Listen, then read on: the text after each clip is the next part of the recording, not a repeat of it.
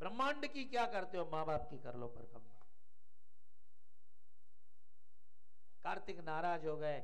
माँ पार्वती मनाने गई, पर कार्तिक नहीं माने। तब कार्तिक का हाथ पकड़ा तो उन्होंने हाथ भी छटक दिया माँ का। नहीं, उन्हें नहीं जाना। तो जब हाथ छटका ना तो वहाँ पर एक बिल्ली बैठी थी। और कार्तिक का हाथ जोरदार बिल्ली के गाल पर लगा झटका तो। तो बिल्ली के गाल से खून आने लगा और कार्तिक ने मुड़कर देखा माँ दुर्गा के, काली के, पार्वती के गाल से खून कर रहा था। कार्तिक घबरा गए, माँ, ये क्या? मेरा हाथ तो लगा बिल्ली को और आपके गाल से खून। माँ, भगवती ने कहा, कार्तिक तो मुझे साधारण समझता है? जीव मात्र के अंदर चेतना और प्राण मैं हूँ। ये देख मेरी विभूति जैसे अर्जुन को विराट रूप दिखाया, माँ भगवती ने कार्तिक को दिखाया, पूरा ब्रह्मांड माँ से व्याप्त है। व्याग्रो हम क्रूर कर्मा हम शन कर्मा हम महाजन। कार्तिक ने देखा जर्रे जर्रे में माँ, चरणों में पड़ गया माँ। हा जान गया, मेरी माँ साधारण नहीं है, मेरी माँ तो विश्वम्भरी भैरवी है, दिव्या है। कार्तिक ने कहा, माँ, जब आप सब में बैठी हैं, बिल्ली में भी, शेर में भी, स्त्री में भी, पुरुष में भी तो मैं किसी भी बात करूँ? इसलिए हमारी तरफ़, मैं दक्षिण भारत की नहीं कहता हूँ, हमारी तरफ़ कार्तिक कुमार है भी कुमार ही है। सब में माँ भगवती का दर्शन किया। एक कल्प की एक कथा है। बोलिए कार्तिक कुमार की। जय हो। कार्तिक कुमार की आराधना करने से मनुष्य विजयी होता है। कार्तिक की साधन पूजा नहीं होती बच्चों जिसको विजय चाहिए अपने जीवन में कार्तिक पूजन करें। पंचानन। तो पंचम। स्कंद मातेति षष्टम कात्यायनीति च। अरे बोल तो लो मुझसे सष्टम कात्यायनीति च। छठी देवी का नाम क्या है? कात्यायन नाम के ऋषि ने भगवती माँ की बड़ी आराधना की। माँ ने प्रसन्न होकर दर्शन दिया क्या चाहिए? कहा आप मेरे घर में बेटी बनकर जन्मे? तो कात्यायन ऋषि के घर में जन्मी इसलिए माँ का नाम कात्यायनी पड़ा। सप्तम काल रात्रि ये जो छठी कात्यायनी है ना इसी कात्यायनी की पूजा मंगसिर के महीने में गोपियों ने की थी। कात्यायनी महामाये महायोगिन्यधीश्वरी नंद गोप सुतम देवी पतिम में कुरुते। नमः। और कार्य इसकी माँ की कृपा से भगवान श्री कृष्ण की गोपियों को प्राप्ति हुई थी। तो षष्टम कात्यायनी थी जय सप्तम काल रात्रि मोहरात्रि महारात्रि देखो या आप कितनी भी कोशिश कर दो हर व्यक्ति के जीवन में काल रात्रि आती है मौत की रात। जन्मने वाली भी ये है रखने वाली भी ये है और काल रात्रि भी ये है। तो सप्तमम काल रात्रि। महागौरी एक दिन शिव जी में और पार्वती जी में झगड़ा हो गया। चली गई हिमालय पर और उसने जाकर घनघोर तप किया काली ने और जा करके और उसके बाद विश्व की त्रिपुर सुंदरी माँ बन गई तब ब्रह्मा ने कहा महागौरी आप जैसा गोरा ब्रह्मांड में महागौरी थी। चाष्टमम अर्णवम सिद्धिदात्री। अपने भूले हुए, भटके हुए, बच्चे चाहे पूजा न करे, चाहे पाठ न करे, महाराज केवल माँ माँ बोल दे तो माँ सदा सिद्धि देने के लिए तैयार रहती है। ले ले ले ले ले। केवल आपको क्या पुकारना है? माँ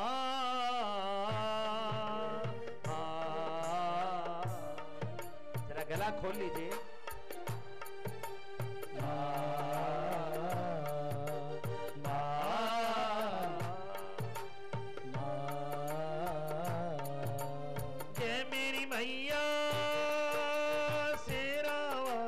माँ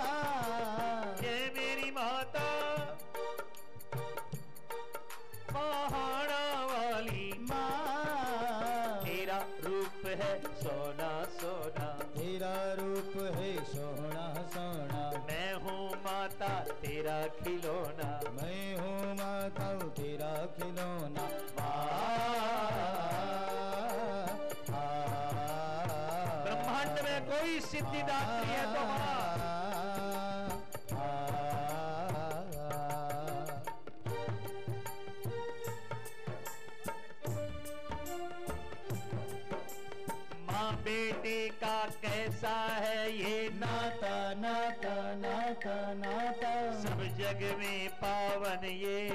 कहलाता कहलाता कहलाता कहलाता। आंधी आए तू भाए माँ। मुझको ना कोई गम सताए। माँ। तेरी महिमा अनुपम जानी। तेरी महिमा अनुपम जाने। गंथन में बहु भांति बखानी। ग्रंथन में बहु बखानी। आ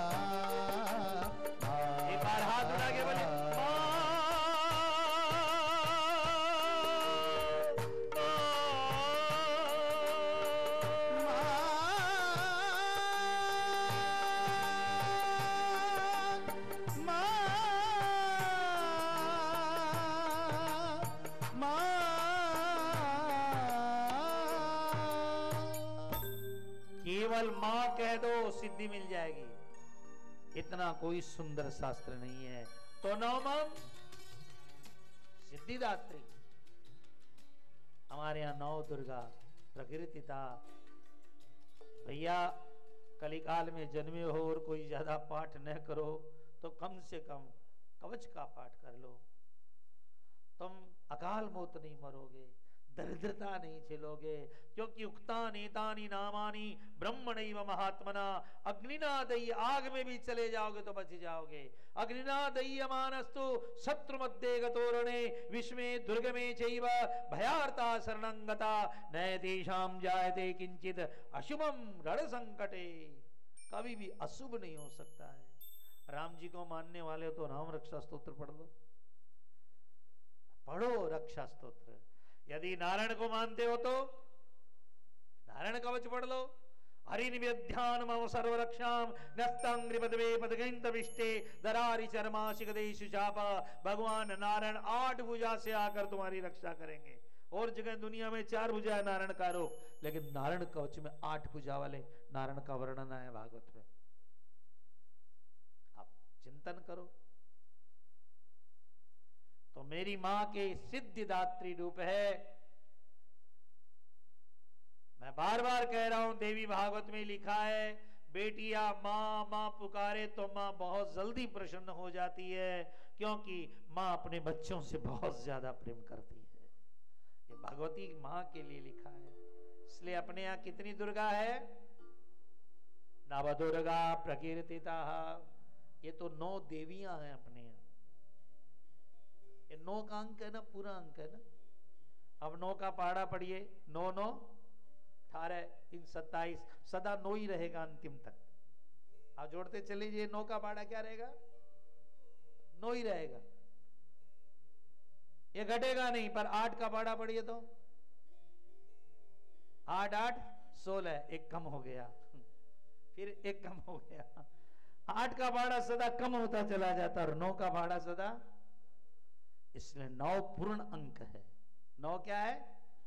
पूर्ण अंक है। इसलिए नौ का अंक, ये मेरी माँ का अंक है। हमारे यहाँ, ये नौ दुर्गा हैं। क्या है? पर हमारे यहाँ दुर्गा देवी भी नौ है।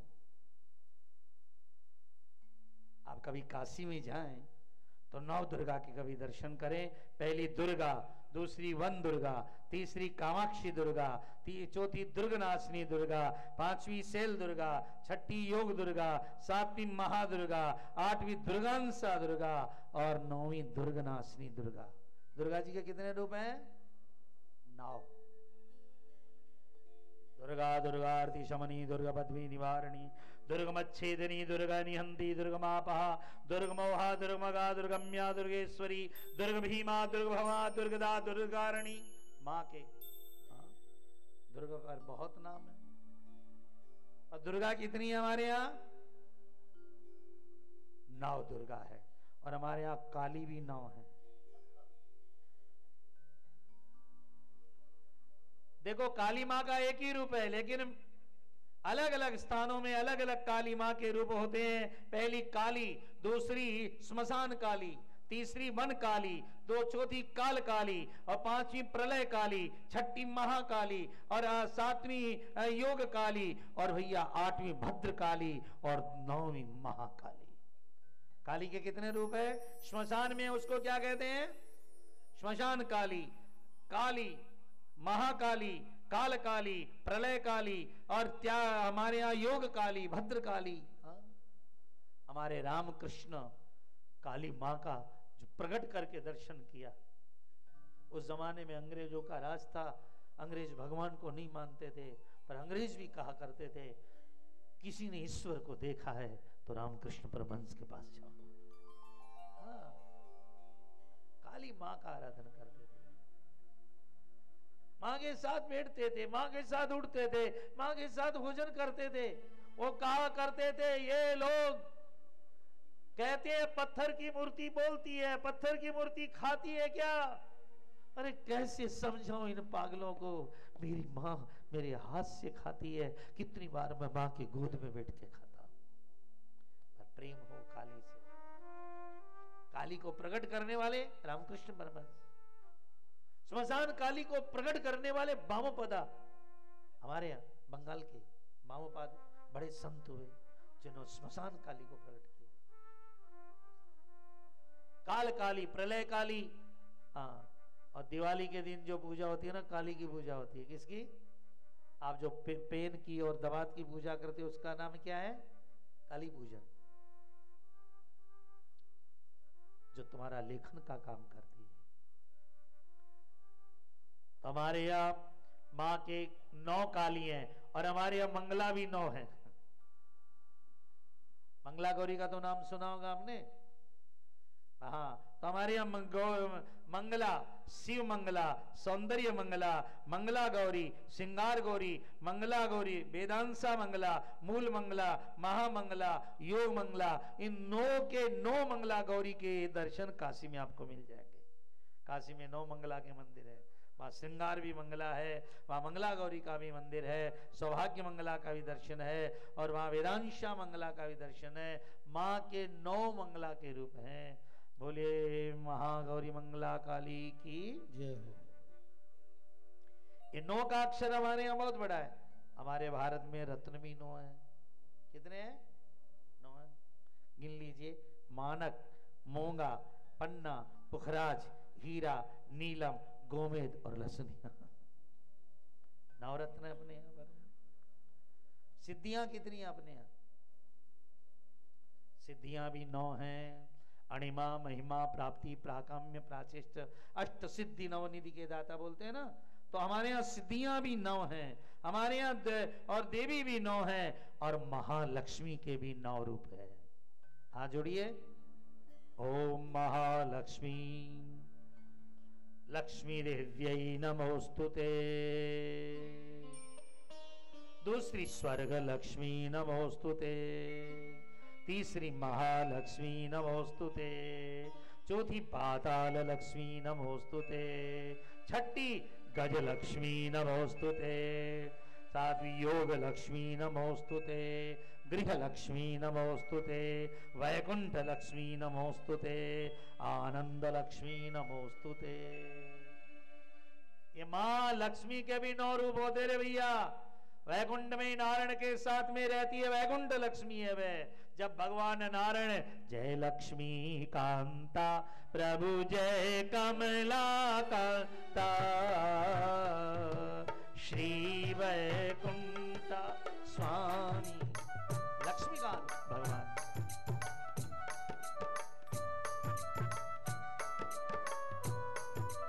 जय लक्ष्मी कांता। स्वर्ग में स्वर्ग लक्ष्मी। पाताल में पाताल लक्ष्मी, राजा बलि गया। और हमारे धरती पर गज लक्ष्मी। साधकों के लिए योग लक्ष्मी। पवित्र गृहस्थियों के लिए गृह लक्ष्मी। और सबके जीवन को सुखी करने वाली आनंद लक्ष्मी।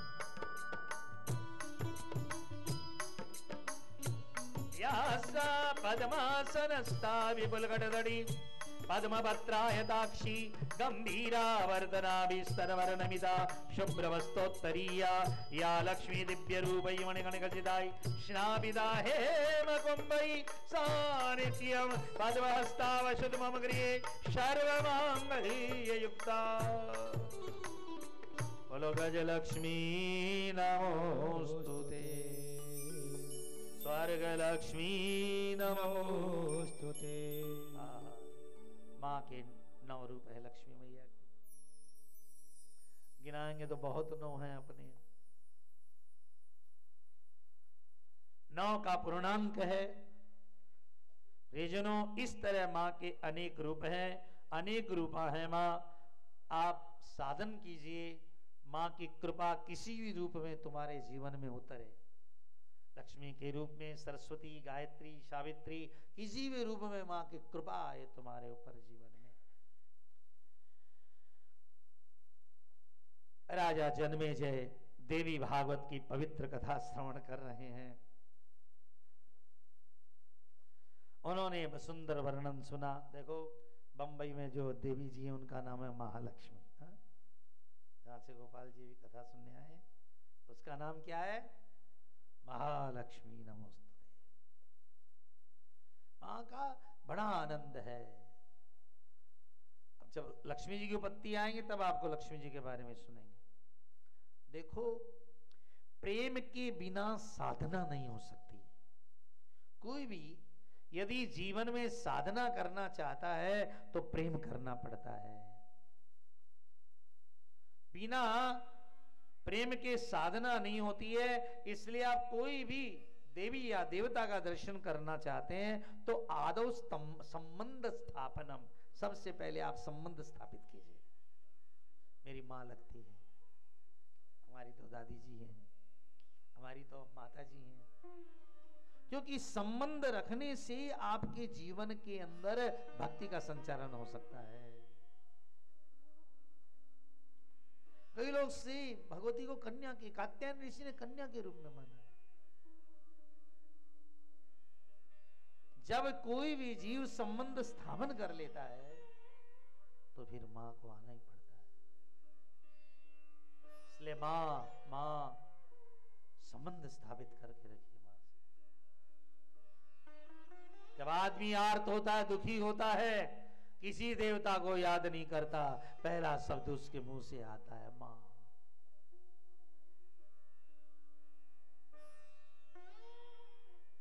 आदौ संबंध स्थापनम। भक्ति का संचालन होता है, संबंध स्थापन करो। ऐसे तो ये माँ न बाला न न वृद्धा न स्त्री न ये स्त्री है न ये पुरुष है न ये पुमान है और न ये कुछ है, ये तो सब कुछ है। चेतनामयी है माँ। माँ स्त्री है कि पुरुष है? हमारे बंगाल में जाइए। बंगाल की सबसे पुरानी पूजा है, अढ़ाई सौ साल पुरानी पूजा। काली माँ को जब दुर्गा पूजा आती है तो माँ को जनेऊ पहनाते हैं। क्या पहनाते हैं? जग्योपवीत क्यों? माँ स्त्री है। माँ पुरुष है माँ तो सब कुछ है। मैं ज़्यादा उलझाते नहीं हूँ। आप लोगों से इतना कहना है, सही में मानना है तो कृष्ण को अपना पिता मान लो, भाई मान लो। ये संबंध स्थापन करने से गुरुस्तों को बहुत आनंद आता है। और ब्रज की लोक कथा आपने सुनी होगी? ज़रूर कहीं सुनी होगी आपने। ब्रज की लोक कथा। एक पंडित जी के चार बहुएँ थी, बेटा नहीं था, बेटी नहीं थी। तो उन्होंने बेटी श्री राधा रानी को बना रखा था। ब्रज की लोक कथा है। श्री राधा जी को कोई भी साड़ी लाते तो पाँच लाते, कोई भी चीज़ लाते तो पाँच लेकर आते। चार बहुओं के लिए और एक बेटी के लिए। समय बीतता गया, महाराज की निष्ठा में कभी कोई कमी नहीं आई। कभी कोई कमी नहीं आई। पर एक दिन सावन का महीना आया तो चारों बहुओं ने कहा, पिताजी, आज हम नई चूड़ी पहनेंगे, लाल हरी चूड़ी पहनेंगे। तो उन्होंने कहा, चलो, मैं विसायतिन को कह देता हूँ, जाके पहना ना पहले वहीं मिलती थी चूड़ी। और गए जा करके चार बहु पहन ली चूड़ियाँ और पहन करके और चारों आ गई। लेकिन पिताजी जब पैसा देने गए तो उसने कहा कि पाँच जनी चूड़ी पहन के गई। तो वो पंडित जी अड़ गए, हमारे तो चार ही बहु हैं। हम पाँच का पैसा क्यों देंगे? उसने कहा, नहीं तो उन्होंने कहा, कोई अड़ोस पड़ोस का ले गया होगा, पहन गई होगी, कोई सहेली आ गई होगी। जाकर पूछा बहुओं से, बहुओं ने कहा, नहीं, हम तो चार ही जनी पहन के आई, वो वापस आके लड़े उससे, कि तूने पाँच का पैसा कैसे लिया? वह बोली, मैंने पाँच को ही पहना ही चूड़ी। चलो, बात हो गई। पंडित जी ने जो चोर कहना था, जो कहना था, छोटा बड़ा कह दिया उसको। रात में जब पंडित जी सोए तो पंडित जी को सपना आया, राधा रानी कह रही थी बहू जी, मुझे ही भूल गए हाँ? मंदिर में आके देखा तो श्री राधा के हाथ में चूड़ी पड़ी हुई थी।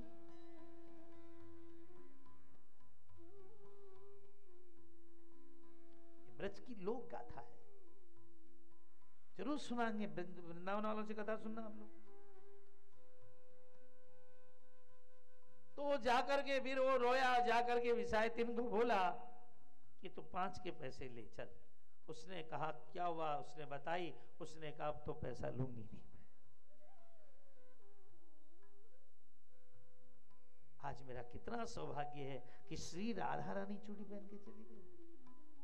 और आज से तो चूड़ी पहनाना भी बंद। तो आदव संबंध आपसे अनुरोध है कि कोई संबंध बना लो, माँ बना लो, इसे पिता बना लो तुम्हें माता, चविता, बंधु बना लो, बांधव बना लो, संबंध से ही तुम्हारा प्रेम ज़्यादा बढ़ेगा। क्योंकि संबंध होने से आपका मन बार बार याद करेगा, बार बार याद करेगा।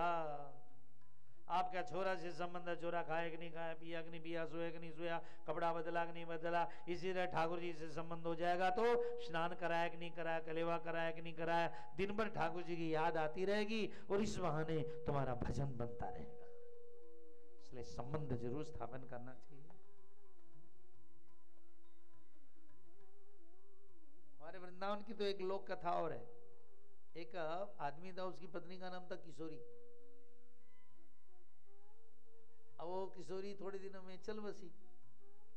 अब वो किशोरी को लेकर इतना पागल हो गया कि वृंदावन में काली किशोरी किशोरी रोता ही रहता था दिन रात। कई महीने रोया, एक दिन किशोरी जी के कान में पड़ा तो ललिता जी से बोली, बुला के लाना, क्या सारे दिन किशोरी तो अपनी पत्नी के लिए पागल होकर रोता था, पर किशोरी जी के कान में पड़ी तो श्री राधा जी के दरबार में पहुँचा। ये ये है संबंध की बात।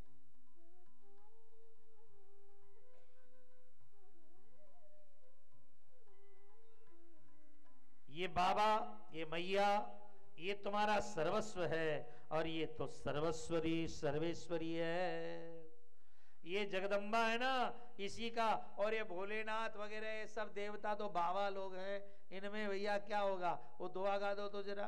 बाबा बाबा सब कहे मैया कहे न कोई बाबा के दरबार में। मैया कहे सो होए। बाबा के दरबार में ये सब बाबा ही बाबा है। देने वाली तो केवल भगवती माँ पिता के निकट पहुँचने के लिए माँ की शरणापन्न होने का याद रखो, माँ ही बाप की पहचान कराती है। यदि माँ पहचान न करे तो दुनिया में किसी को पता नहीं चले कि तुम्हारा पिता कौन है। पिता की पहचान कौन कराती है? माँ।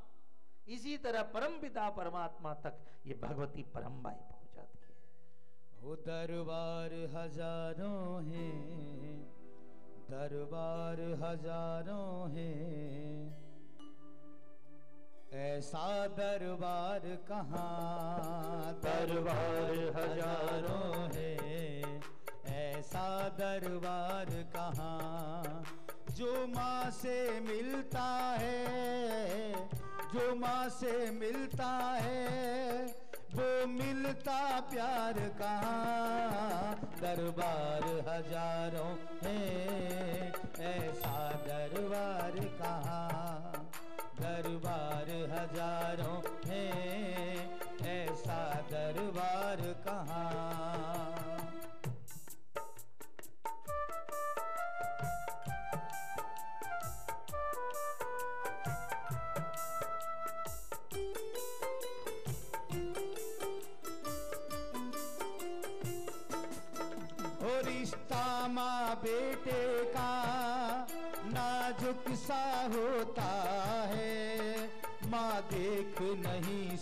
सकती बेटा जब रोता है।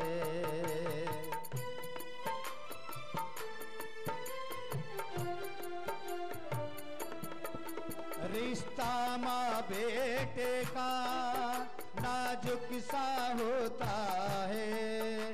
माँ देख नहीं सकती, बेटा जब रोता है। के आंचल जैसा माँ के आंचल जैसा कोई आधार कहाँ? जो माँ से मिलता है वो मिलता प्यार कहाँ? जो माँ से मिलता है वो मिलता प्यार कहाँ? बोलिए अम्बे मैया की जगदम्बे भवानी की।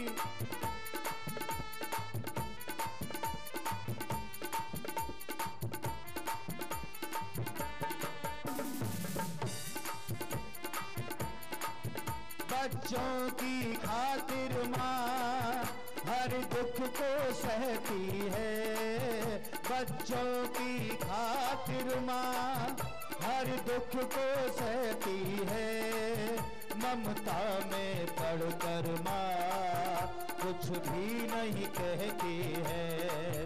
वो बिन माता के जग में वो बिन मैया के जग में होता परिवार कहाँ? जो माँ से मिलता है, वो मिलता प्यार कहाँ?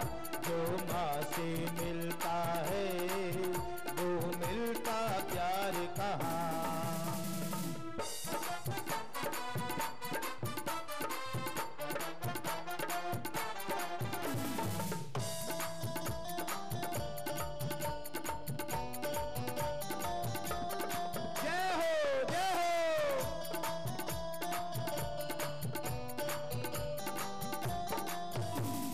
पाना है भक्तों सेवा माँ की करना। कुछ पाना है भक्तों सेवा माँ की करना। ममता के खजाने से झोली अपनी भरना। ममता के खजाने से झोली अपनी जीवन का सपना, तेरे जीवन का सपना होगा साकार यहाँ। जो माँ से मिलता है वो मिलता प्यार कहाँ। जो माँ से मिलता है, वो मैं हरियाद सुने मैया और पूरी करती है। जो सबकी अरज सुने, जो सबकी अरज सुने, ऐसी सरकार कहाँ जो माँ से मिलता है? वो मिलता प्यार कहाँ? जो माँ से मिलता है, वो मिलता प्यार कहाँ?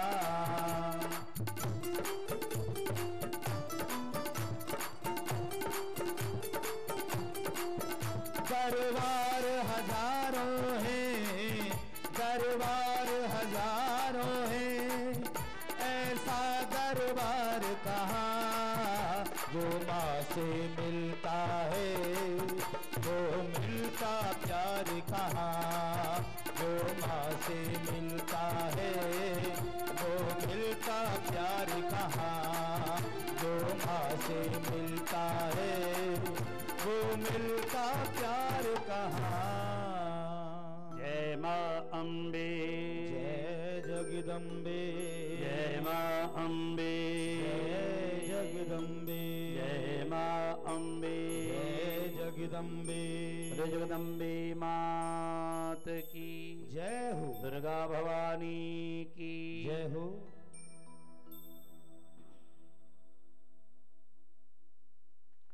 प्रियजनों भगवती माँ का बड़ा ही सुंदर दिव्य रूप है, दिव्य साधना है माँ भगवती की।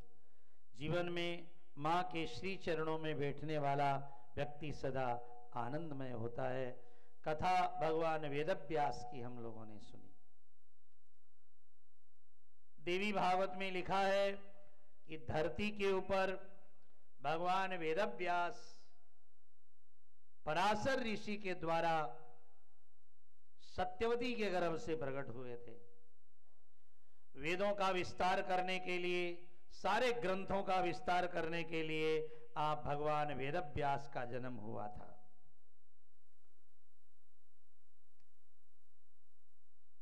राजा संतनु, महान राजा हुए अपने समय के। संतनु राजा इतने महान थे कि किसी का स्पर्श कर देते थे तो बूढ़ा जवान हो जाता था। रोगी व्यक्ति निरोगी हो जाता इतने सत्यवादी थे महाराज संत। तब कथा आई कि आप कृपा करके इस कथा को जरा विस्तार पूर्वक सुनाइए। तो देवी भागवत की अपनी कथा है कि आइए, धरती पर गंगा को भी आना पड़ा और धरती पर गंगा कैसे आई, ये दूसरे स्कंद की तीसरे अध्याय की कथा है। पहला स्कंद पूरा होता है। प्रियजनों, एक महाभिष नाम के राजा थे। बड़े प्रतापी, बड़े तेजस्वी। उन्हें इतना यज्ञ, इतना पूजा, इतना साधना की कि अंत में वो ब्रह्मलोक पहुँच गए। राजा महाभिष बड़े ज्ञानी, बड़े विद्वान ब्रह्मलोक में पहुँच गए, कथाओं का आनंद ले और उसके बाद ब्रह्मा जी की सभा में रहा करते थे। और एक दिन की घटना है। ब्रह्मा जी अपने संपूर्ण ऋषियों के साथ में विश्वामित्र जमदग्नि, भरद्वाज, गौतम, अत्रि, वशिष्ठ सब ऋषियों के साथ बैठे थे और उसी सभा में महाभीष्म बैठे थे। क्योंकि तपस्वी थे, ब्रह्मलोक के लायक थे वो। और उसी समय गंगा मैया सभा में पधारी।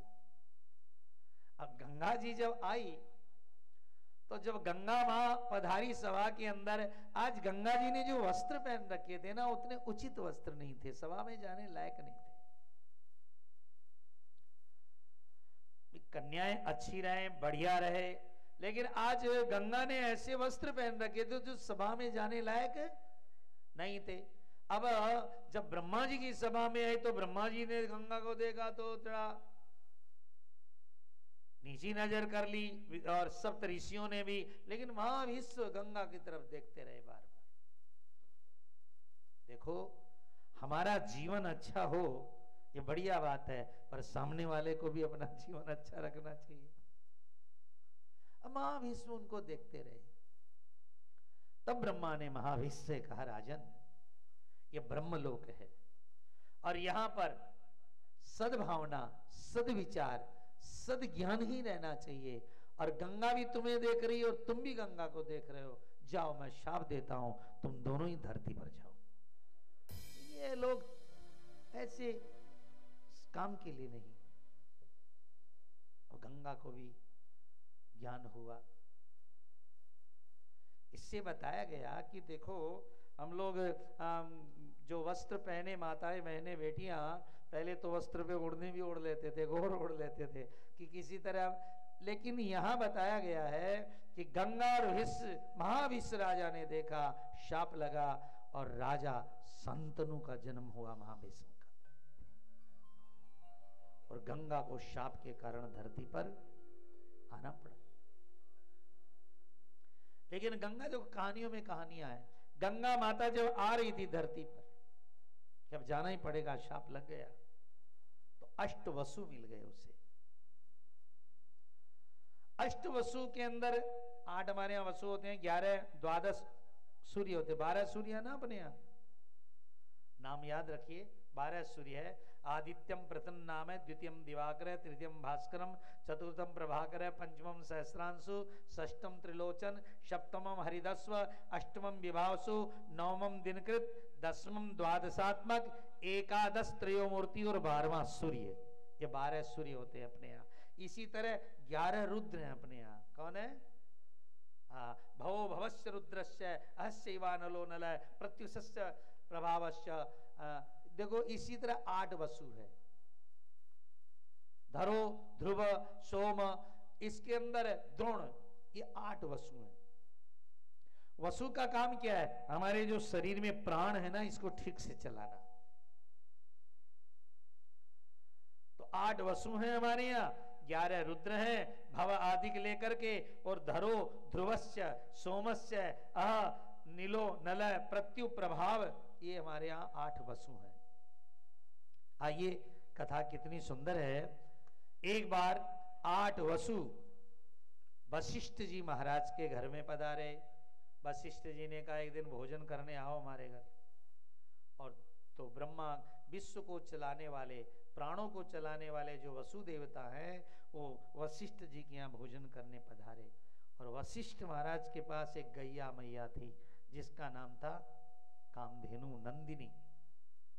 उन्होंने गैया मैया से कहा, देखो माँ, आज हमारे यहाँ अष्ट वसु आए हैं, जरा भोजन की बढ़िया से व्यवस्था और कामधेनु गैया को जो कहते हो करे। हाथों हाथ उसने छप्पन भोग बना दिए। और अष्ट वसुओं ने बढ़िया भोजन किया और गैया नंदिनी का दूध तो पीने लायक था। उसको पीने वाला कभी बूढ़ा भी नहीं होता था। बढ़िया गाय थी। तो सब भोजन तो कर लिया, पर आठवें वसु का नाम था द्रोण। जब जाने लगे भोजन करके तो द्रोण की पत्नी ने कहा, इतनी बढ़िया गैया, महाराज जी के यहाँ क्या काम की? अपने ले चलो। उन्होंने कहा, किसी की गाय पर मन चलाना ठीक नहीं है। चलो।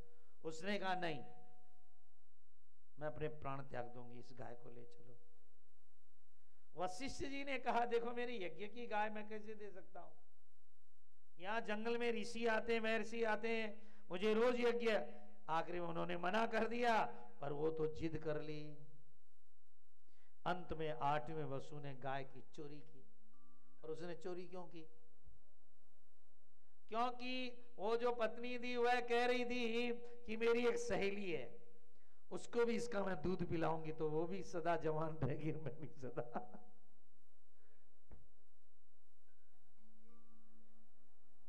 वशिष्ठ जी महाराज आए और अपनी गाय जब नहीं देखी,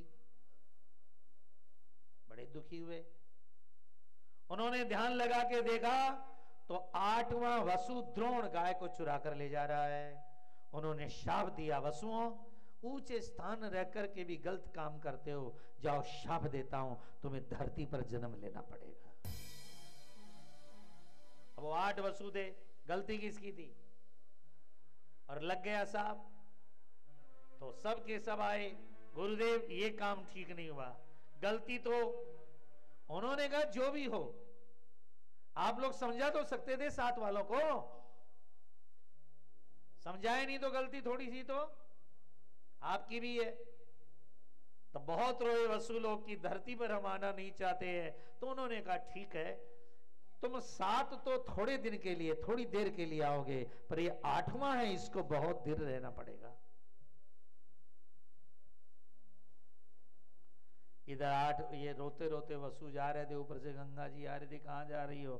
कहा, धरती पर जन्म लेने जा रहे हो, मेरे गलती हो गई, मेरे सभा संस्थान में किस तरह जाना चाहिए? ये मैंने ध्यान नहीं रखा, मुझे शाप लगा है। तो वसुओं ने कहा, माँ, फिर एक काम करना गंगा। हमारा भी धरती पर जन्म होगा, पर हम दुनिया में रहना नहीं चाहते हैं। आप हमें जल्दी से बहा देना। उसने कहा, ठीक है, कोई बात नहीं। इधर गंगा धरती पर आई और उसका संतनु महाराज के साथ में विवाह हुआ। गंगा स्वर्ग की रहने वाली है, धरती पर संतनु से उनका विवाह हुआ। लेकिन गंगा बहुत रूपवती, सुंदरी थी तो शर्त पर विवाह किया कि महाराज, जिस दिन आप मेरा कोई भी काम हाथ पकड़ोगे, मैं आपको छोड़ के चली जाऊँगी। राजा ने कहा, मैं क्यों हाथ पकड़ूँगा तेरा? जो करना कर, तेरा घर है। पहला बेटा हुआ। गंगा ने उस बेटे को टोकरे में डाला और बहा दिया। महाराज को बहुत दुख हुआ कि मेरे वंश का एक बेटा बहा दी कैसी माँ है। और बोले तो छोड़ के चली जाए। दूसरा, तीसरा, चौथा, पांचवा, कितना महाभारत सीरियल देखा ना? सात बच्चे बहा दिए। कौन दे वो? बसु। माँ हम रहना नहीं चाहते। अब जल्दी कर देना हमें। लेकिन जब आठवां बच्चा बहाने के लिए तैयारी हुई, तब राजा संतनु ने हाथ पकड़ लिया। माँ है कि तू राक्षसी है? अरे एक नहीं, दो नहीं। मेरे कुल के इतने इतने बच्चों को बहा दिया। ये क्या कर रही है तू? गंगा ने कहा, महाराज आज आपने मुझे टोक दिया, अब मैं आपके साथ नहीं रहूँगी। अभी अब ज़्यादा रहना नहीं चाहती थी, उनका भी शाप पूरा हुआ। लेकिन माँ माँ नहीं है जो अपने बेटे को पाल पोस करके बड़ा नहीं करे। महाराज, मैं ये बेटा ले जाती हूँ, समय होगा आपको लौटा दूँगी। क्योंकि माँ का कर्तव्य बनता अपने बच्चे को संतनु महाराज महल में रहने लगे। और आपको पता है, दूसरा विवाह संतनु का सत्यवती के साथ में इसी तरह गंगा के जो बेटा जन्मा था आठवां बसु। और वो लड़का पाँच साल का हुआ, तब तक गंगा ने उसे इतने अस्त्र शस्त्र चलाने सिखा दिए कि विश्व का एक योग्य वीर बनाया उसको। आठ साल होते होते। क्योंकि माँ ने अपने पूरे संस्कार दिए बच्चे को। एक दिन शाम का समय था। राजा शांतनु गंगा के किनारे घूम रहे थे। उन्होंने देखा गंगा खाली। बड़ी नहीं रही आगे पानी सूख गई है। देखा गंगा को किसने रोक दिया? तो देखा कि एक लड़का बाण मार करके इतने बाण मार रहा है कि उसने गंगा को रोक दिया है।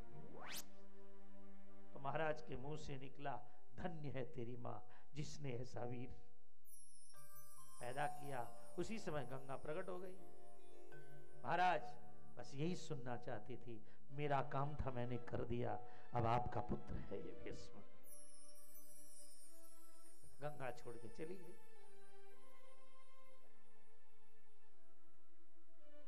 लेकिन एक योग्य संतान महाराज को दे करके गई।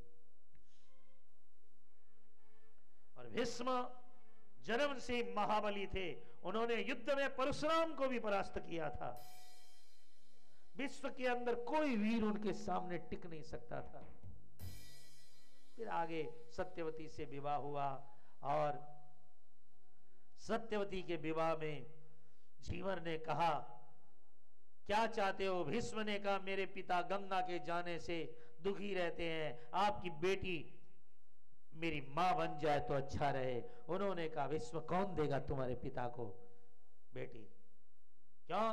कल तुम्हारे बच्चे होंगे और लड़ाई करेंगे। विश्व ने कहा, लो, मैं संकल्प लेता हूँ आजीवन ब्रह्मचारी रहूँगा, पर मैं मेरे पिता को खुश देखना चाहता हूँ। देखो, माँ की कथा सुन रहे हो ना तो पिताजी की भी सुन लो।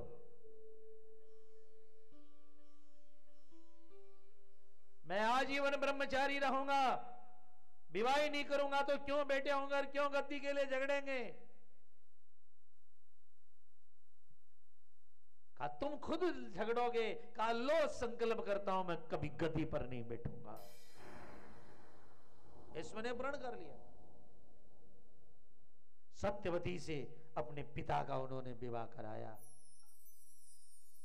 लेकिन पिता ने जब सुना कि विश्व ने दो प्रण कर लिए आजीवन ब्रह्मचारी रहूँगा। दूसरा, गद्दी की रक्षा करूँगा, पर गद्दी पर नहीं बैठूँगा। बाप बड़े प्रतापी थे, संत नु कोई साधारण राजा तो थे नहीं। बूढ़े को छूते थे, वो जवान हो जाता था साहब।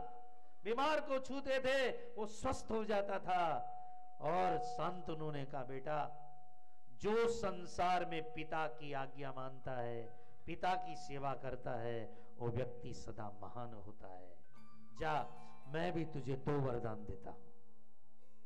आजकल लोग कहते हैं ना, बापूजी की मानने से क्या उसी? क्या माने? क्यों माने?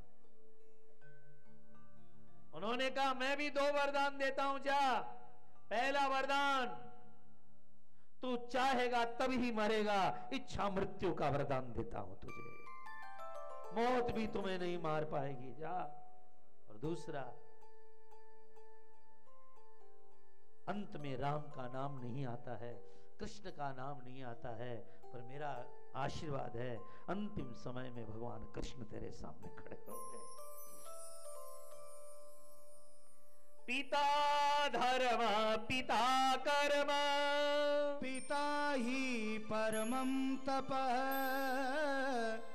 पितरः प्रीतिमापन्नो प्रियन्ते सर्वदेव ले लो ले लो दुआएँ माँ बाप की। ले लो ले लो।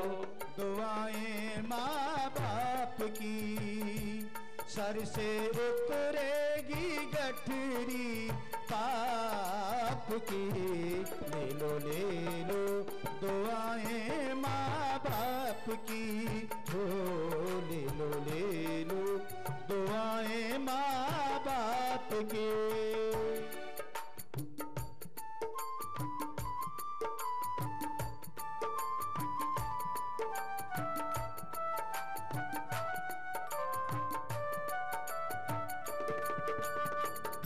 जन्म दिया था जिसने उसको कैसे भूल गया?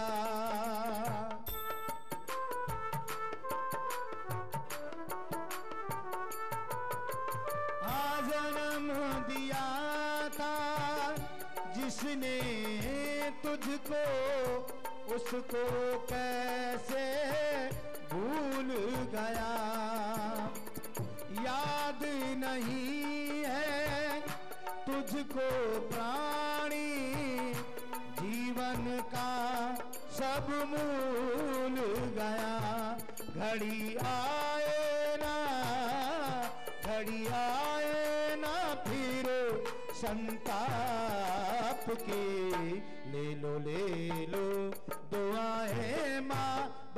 बाप की हो। ले लो ले लो, दुआएँ माँ बाप की।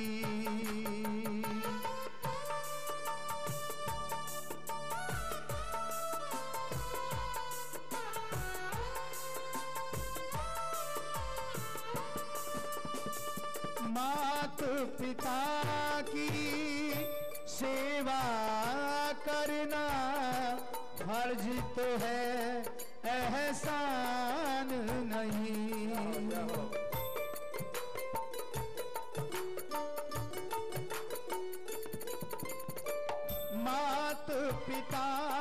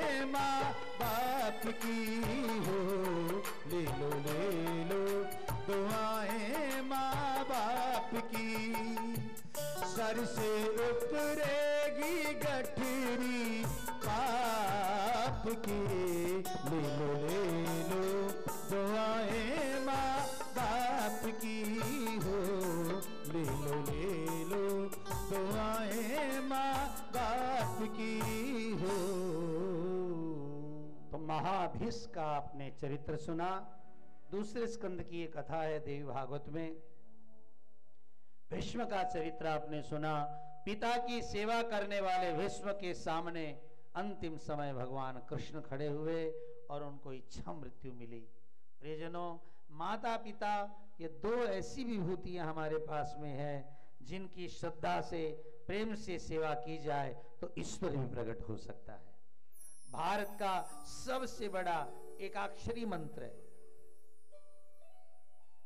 भारत में जब जब बड़े बड़े विद्यालयों में लड़के पढ़ते थे कॉलेज में, और जब कॉलेज की पढ़ाई पूरी हो जाती थी तो अंतिम में क्या होता, दीक्षांत समारोह होता और जैसा दीक्षांत समारोह हमारे भारत में हुआ है, विश्व के इतिहास में कहीं नहीं हुआ है। जब जब बच्चे पढ़ लिख करके निकलते थे तो आचार्य अंतिम उपदेश दे करके बच्चों को जब विदा करता था, इस उपदेश पर हमें नज़र रखनी चाहिए। आज भी आपके कॉलेजों में बड़े बड़े दीक्षांत समारोह होते हैं, विदा की समारोह, अब पढ़ाई पूरी हो गई है। तो आचार्य खड़ा होकर के पहला आदेश देता था, भारत का दीक्षांत समारोह का पहला आदेश रहता था मातृदेवो भव। मातृदेवो भव। आज के बाद माँ को हड्डी की मांस की या शरीर की मत मानना ये मानना ईश्वर ही मेरी माँ बन करके उतरा है। मातृदेवो। भव। अरे बोल तो लो। मातृदेवो। भव। माँ भगवान राम को तो इतना प्रेम हुआ कौशल्या माँ के कई माँ, सुमित्रा माँ, फिर भी मन नहीं भरा तो शिवरी माँ। सबको माँ कह करके राम ने, और कृष्ण को तो एक माँ से नहीं, यशोदा माँ, देवकी माँ, कुंती माँ, और कितनों को कृष्ण ने माँ कह करके पुकार के जीवन में मान बनाया। तो दीक्षांत समारोह का पहला है मातृदेवो भव। मातृदेवो भव। और दूसरा पितृदेवो भव। पितृदेवो भव। पितृदेवो भव। पितृदेवो भव। तीसरा आचार्य देवो भव। आचार्य देवो भव। इसलिए तुम्हें आचरण समझाए। आचार्य देवो भव। आचार्य देवो भव। से भगवान ही मानना शरीर नहीं मानना। आचार्य देवो भव। आचार्य देवो भव। और भारत में जन्मे हो तो चौथा अतिथि देवो भव। अतिथि तुम्हारी कथा में तुम्हारे कीर्तन में तुम्हारे घर में परिवार में कोई अतिथि आया अतिथि देवो भव। अतिथि देवो भव। और एक ज़बरदस्त उपदेश था स्वाध्यायान मा प्रमद स्वाध्याय नमा प्रमद चाहे तुम एक मिनट ही पूजा करते हो चाहे पाँच मिनट करते हो चाहे प्राण चले जाए पर अपने स्वाध्याय का कभी त्याग मत करना। जहाज़ डूबता है फिर भी कप्तान चाबी भर रहा है। अरे भाई डूब रहा है। का मेरा काम है इतना बजे चाबी भरने।